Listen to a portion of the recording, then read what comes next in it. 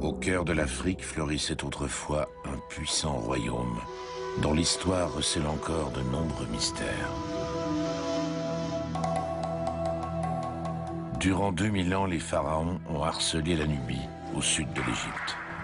Leurs armées volaient l'or et asservissaient les peuples du continent noir.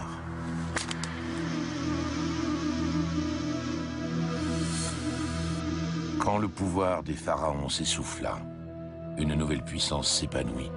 Un royaume aujourd'hui oublié à la tête duquel les femmes ont joué un rôle majeur. Qui a construit ces fastueux palais et ces immenses nécropoles? Qui étaient ces puissantes reines noires de Méroé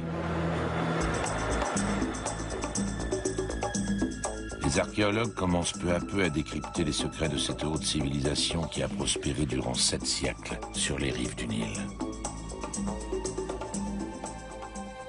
Les chercheurs lèvent le voile de l'oubli qui couvre les palais et les pyramides érigés dans le nord-est de l'Afrique noire.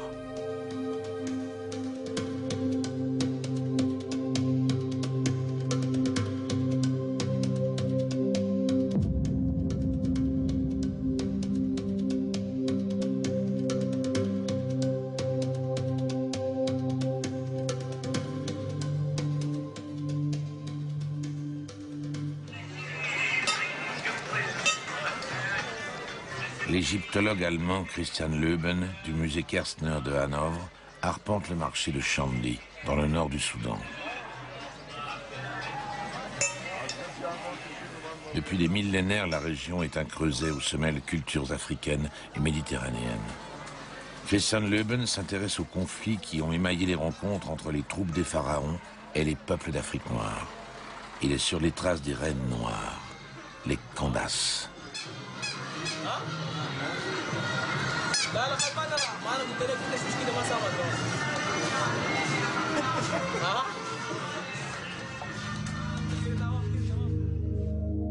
Le royaume oublié de ses puissantes reines se trouve aujourd'hui au Soudan, dans le nord-est de l'Afrique. Méroé en était la capitale.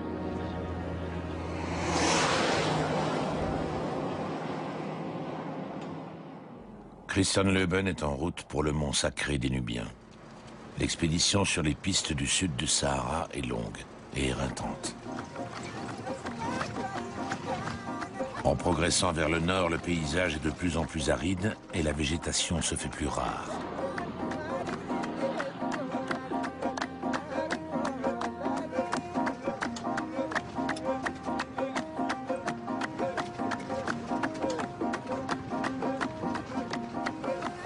Jeep met 18 heures à atteindre son but. Devant l'archéologue, s'élève le mont d'où serait né l'univers.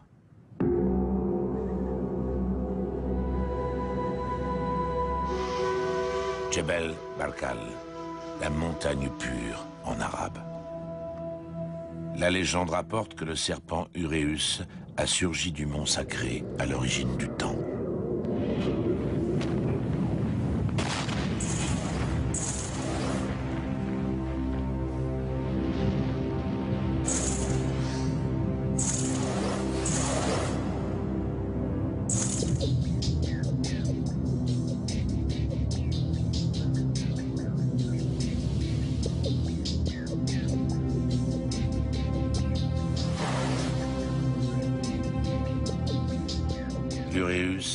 La mère de tous les dieux, est un cobra femelle qui protège le souverain de ses ennemis.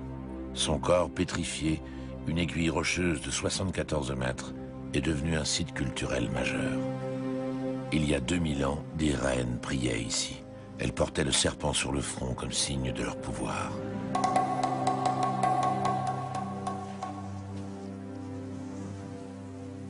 L'archéologue soudanais Murtada Mohamed a longtemps étudié le site.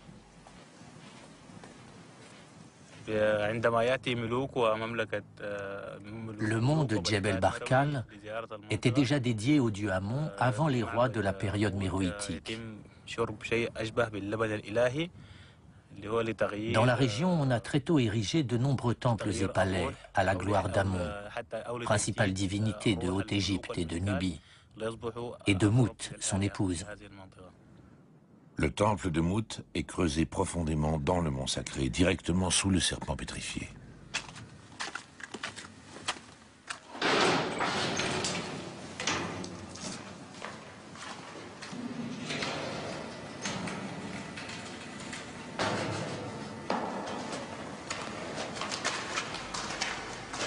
Du flanc de la montagne s'élève le serpent du pouvoir, couronné par le soleil, pourvoyeur de vie. Des divinités adorées durant 19 siècles par les Nubiens.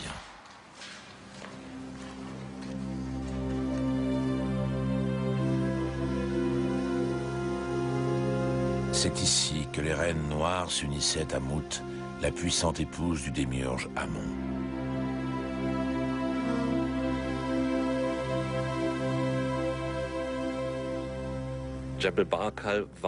Jebel Barkal était le centre religieux du royaume méroïtique. Chaque reine noire devait accomplir un pèlerinage au mont sacré afin de légitimer son pouvoir.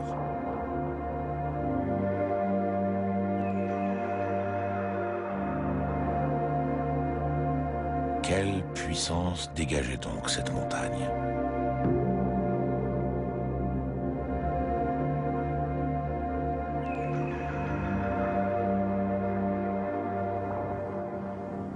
Répondre à la question, enfonçons-nous au plus profond du royaume oublié, au sud, jusqu'à Méroé, capitale des Candaces.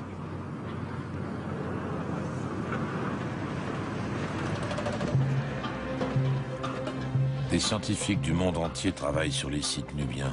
L'archéologue français Vincent Rondeau habite au Soudan depuis 1998.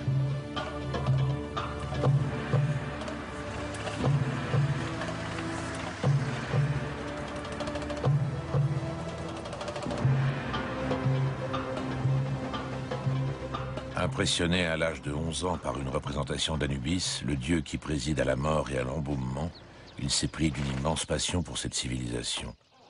Cela fait quatre ans qu'il effectue des fouilles sur ce site méroïtique.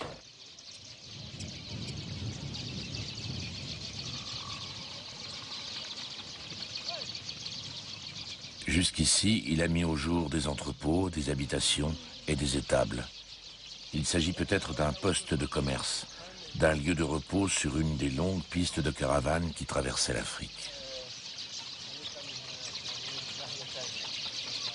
Au fil des siècles, les Bédouins ont utilisé les briques cuites des bâtiments antiques comme matériaux de construction. Vincent Rondeau a toutefois retrouvé profondément enfouis sous terre les fondations de vastes bâtisses cultuelles, de temples imposants. Quel dieu était vénéré des peuples méroïtiques et de leurs reines noires? Ici, on a un détail qui a été très important pour nous, parce qu'on l'a découvert euh, au tout début de la fouille.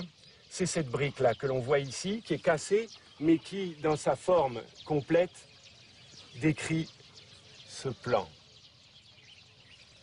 Et avec ce détail ici arrondi, on reconnaît tout de suite une caractéristique de ces, des temples, qui est ce que l'on appelle le tore, ou le boudin. Euh, un élément de décoration qui marquait l'angle du bâtiment et qui, montait avec lui tout autour pour le décorer tout autour. Donc avec la découverte très vite de cette brique, nous avons su que nous avions un temple et un peu plus tard que c'était le temple à Amon. La main de Pharaon s'étendait-elle si loin en Afrique noire?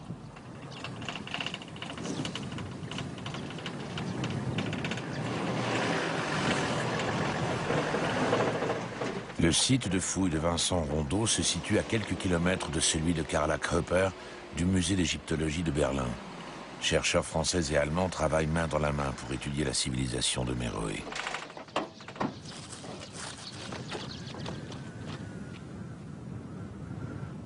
Bonjour Vincent. Bonjour Carla. How are you? Hot, no?